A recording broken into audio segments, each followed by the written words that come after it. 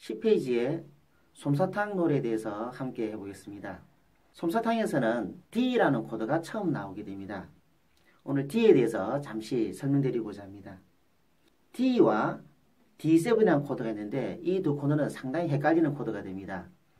D를 잡으실 때 항상 생각해야 할 점은 우리의 왼손의 중지 2번 손이라 그러죠. 이 2번 손이 맨 아랫줄 하나 두 번째 이 두 번째 칸에 누르는 이 손가락이 가장 중요합니다. 이걸 먼저 누르시고 그 다음에 1번 손이 밑에서 세 번째 줄에 들어가야 됩니다. 그 다음에 약손가락 3번 손이죠. 밑에서 두 번째 줄 칸은 세 번째 칸이 됩니다. D를 잡으실 때는 엄지가 내려가야 됩니다. 어떤 선생님께서는 위로 올라와서 이 줄을 덮는 경우도 있습니다. 하지만 저는 내려갈 것을 권장합니다. 중간에 잡아주시면 되겠습니다. 이렇게 잡은 상태에서 팔꿈치가 몸에서 약간 약간 떨어져야 됩니다. 많이 떨어질 필요는 없습니다. 약간 떨어져서 손톱들이 위가 아니라 어, 얼굴을 보게끔 이렇게 돌아올 수 있도록 약간 돌도록 이렇게 만들어 주셔야 됩니다.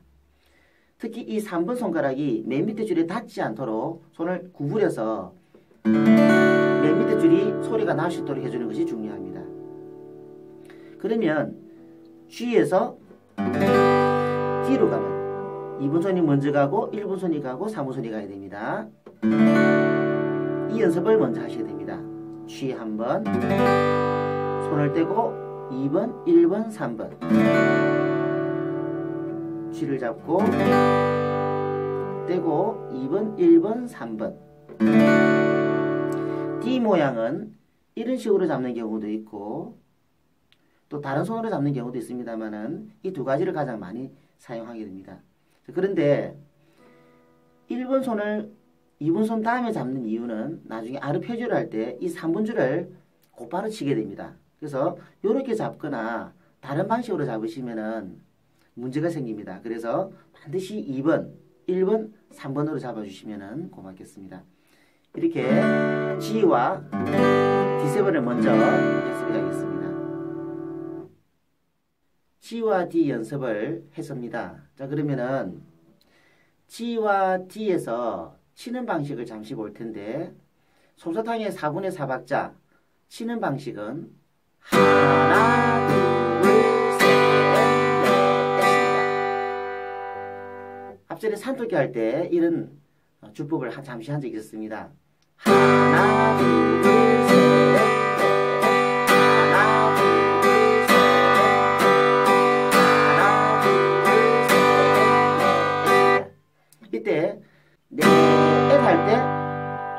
왼손을 떼버리고 올리게 됩니다. 하나 둘 셋 넷 하나 처음에는 뒤를 잡고 한 번만 내리는 연습을 먼저 하셔야 됩니다. 하나 둘 셋 넷 하나 뒤가 상당히 빨리 잡혀야 됩니다. 하나 하나 이래 잡아가지고는 박자를 놓치게 되죠. 그래서 처음에는 빨리 하시면 안 됩니다. 아주 천천히 하시면서 G와 D 잡는 연습을 충분히 해주셔야 됩니다. 자 그럼 G와 D를 아주 천천히 교재를 보지 마시고 네 박자씩 한마디씩 치면서 한번 바꿔보겠습니다.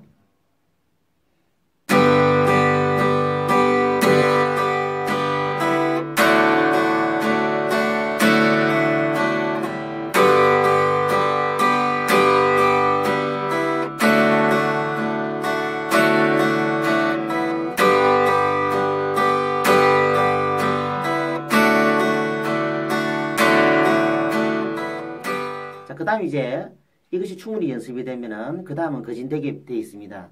노래를 하지 마시고 한마디에 하나 둘 셋 넷 하면서 그냥 지나만 가시고 마디 중간에 코드가 바뀌는 경우가 있기 때문에 마디의 중간인지 첫 부분인지 유심히 보셔야 됩니다. 자 그러면 같이 한번 해보겠습니다. 준비 시작 하나 둘